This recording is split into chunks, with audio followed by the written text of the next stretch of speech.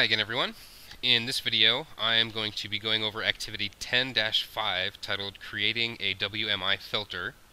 This is from the MCSE slash MCSA Guide to Microsoft Windows Server 2012 Administration in preparation of exam 70-411. In my edition of the book this activity begins on page 379. Um, so the quick background about this activity. Um, we have some group policies that are being applied within my domain. Um, specifically, we're going to be working with GPO1 here, and I just want to take a quick look at what exactly this group policy object does. So one thing that it will do is give me information about previous logons whenever a user logs in, and it will also take a user directly to the desktop rather than taking them to the start screen on Windows 8 or Windows 10. Um, so first I want to make sure that this is applying correctly. So I'm going to log on to my Windows 8 machine as a test user. Alright, and so here I can see those previous logon um, information.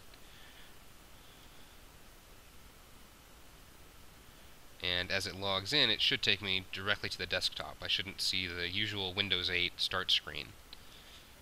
Alright, so my policy is applying correctly. and that will also apply to my servers currently, and that's fine. Um, because we're going to be focusing on this WMI filter, which allows us to filter that policy to match specific criteria. Um, the example I'll be using in this video is that I'm going to apply that only to my servers. Um, so to begin, we need to create a new WMI filter. I'm going to go ahead and title it Windows Server. In the description will be limit GPO scope to Windows Server OSs. Now I need to add the query in here that will limit everything to the specific operating system that matches Windows Server operating systems. Um, so the query for that is select the wildcard from win32 underscore operating system where caption like and then in quotes Microsoft Windows server with a percent sign on the end and then end quotes. When we hit OK, we're going to get a little warning message. We're going to go ahead and tell it to use the namespace anyways and hit OK. Then we'll hit save to save that filter. So now that the filter's been created, we want to apply it to this policy. And we come back to the scope, and down in the bottom of the scope pane we have WMI filtering. We hit the drop down arrow and select the filter. Say yes to apply it. And then on my Windows 8 machine, I'm going to go ahead and run a command prompt, give the command gp update, let that process for a moment, and then we're going to log out and log back in with the same user. And we'll see that those policy that policy is now no longer applying. So I'm not going to see any indicators of previous logins. And I will be taken back to the start screen rather than the desktop.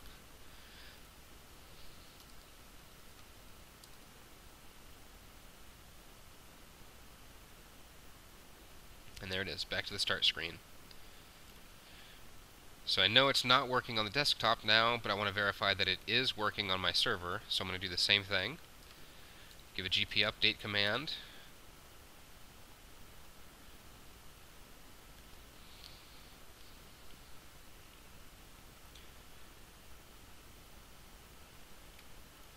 Go ahead and log back out.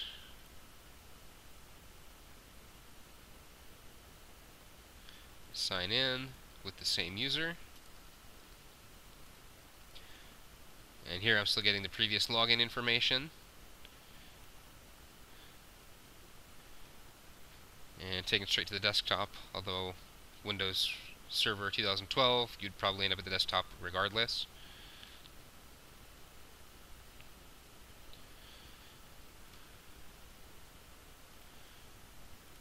Alright, so let's go ahead and remove the filter.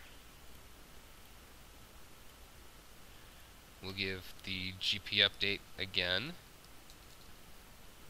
on our Windows 8 machine.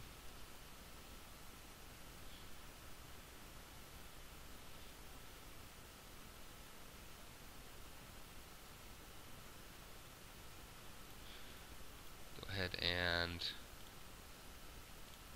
log out.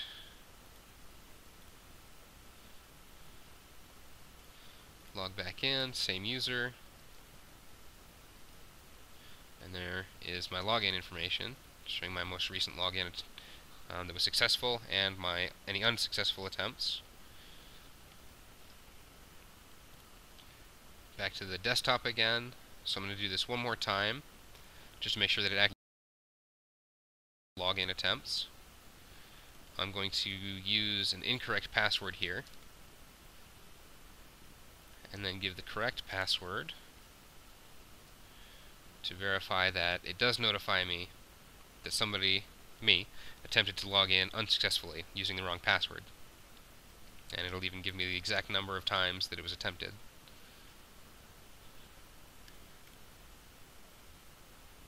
So I click OK to indicate that I have seen the notification and finish logging in. So there's no additional steps there except clicking OK um, at any notifications.